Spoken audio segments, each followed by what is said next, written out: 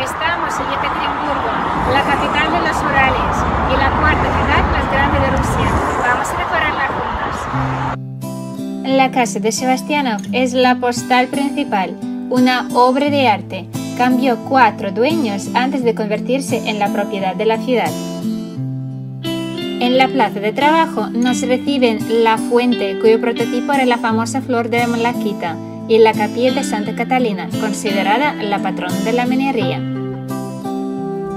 La antigua torre es un símbolo de la ciudad y ahora aquí hay exposiciones.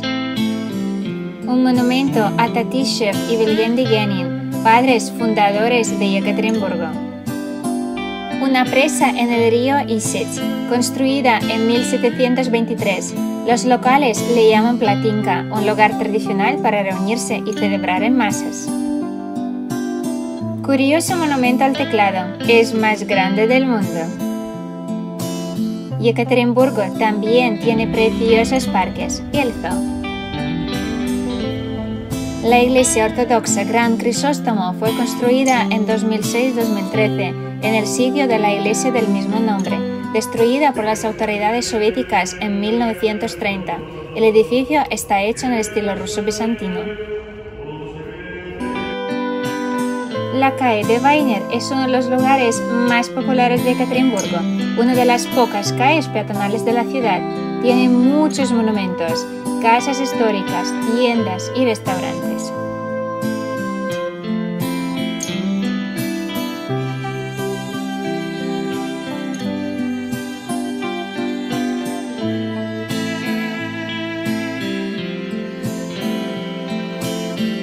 Aquí está el famoso Passage y da la salida a la plaza del año 1905 con el ayuntamiento y el monumento de Lenin.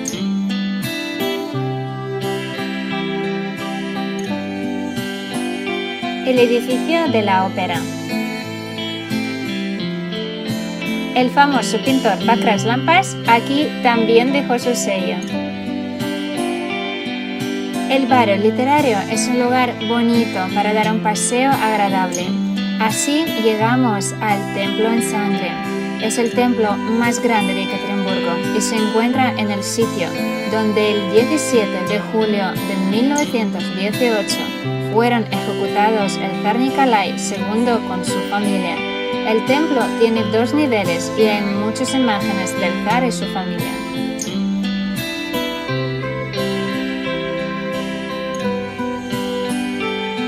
Yeltsin Centro es un sitio moderno y original. Hay de todo. Por supuesto el Museo de Boris Yeltsin, tiendas creativas, lugares de ocio, exposiciones y restaurantes.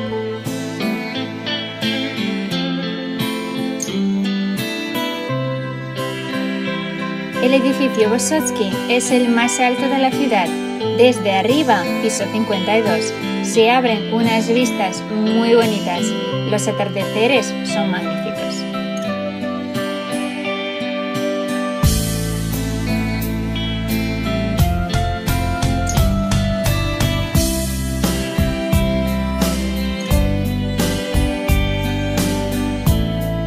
Desde el mayo de este año, en un tren turístico, el fin de semana se puede ir a un parque natural muy famoso y muy popular, la manera más fácil de llegar a la naturaleza pura. En el tren cruzamos la frontera entre Europa y Asia. En Aleni hay cinco rutas diferentes que se puede hacer en grupo o sin guía. Normalmente en una visita se hace solo una ruta, pues hay razones para volver, es precioso. Casi todos quieren llegar a la escultura del ángel de la esperanza unida. Dicen que trae buena suerte y cumple los deseos. Yekaterinburgo, sin ninguna duda, es un lugar que hay que visitar y disfrutar de su diversidad.